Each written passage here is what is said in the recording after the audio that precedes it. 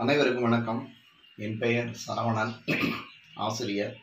ஊராட்சி ஒன்றிய நடுநிலைப்பள்ளி முல்லைப்பட்டிங்கிற நாமக்கல் மாவட்டத்தில் உள்ள பள்ளியில் பணியாற்றி வருகிறேன். இந்த மரம் விழிப்புணர்வை பற்றி பல நடிகர்கள் விழிப்புணர்வு அவர்களுடைய குரலில் விழிப்புணர்வு ஏற்படுத்தியிருந்தால் எப்படி இருக்குன்னு ஒரு சிறிய கற்பனை. இது உங்களுக்காக. முதல்ல பட்டிமன்றத்தினுடைய நடுவர் சாலமன் பாப்பையா அவர் பேசியதை எப்படி இருக்கும்? ஒரு சிறிய கற்பனை. பெரியோர்களே அருமை தாய்மார்களே இனிய குழந்தைகளே வணக்கையா வணக்கம். அதாவது இந்த பூமி அசுமையா இருக்கணும்னா என்ன தேவை? அதாவது இந்த பூமி பசுமையா இருக்கணும்னா மழை பெய்யணும்.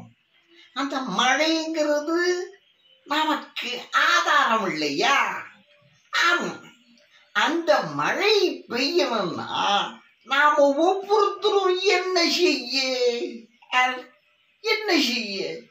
ஒரு வீட்டுக்கு ஒரு மரம் வளர்க்குங்கய்யா இருக்கிற மரத்தை எல்லாம் வெட்டிட்டாக. மழை எப்படி பெய்யும்?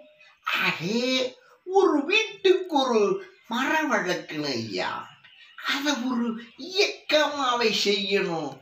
அப்பதான் இந்த பூமி பசுமையா இருக்கும். ஆ மரம் வழங்கு மரத்தை வரேன் நன்றி வணக்கம் வருகே அடுத்ததாக கவிஞர் வைரமுத்து அவர்கள் மர வளர்ப்பு பற்றி பேசியிருந்த எப்படி இருக்கும்? வணக்கம் என் இனிய தமிழ் மக்களே இந்த பூமி நீர் வேண்டுமென்று விரும்புகின்றது. நீர் வேண்டுமென்று விரும்பினால் போதுமா? உம். நீங்கள் என்ன செய்திருக்கிறீர்கள்? ஒவ்வொருவரும் காட்டை அழித்திருக்கிறார்கள். நிறுத்த வேண்டும்.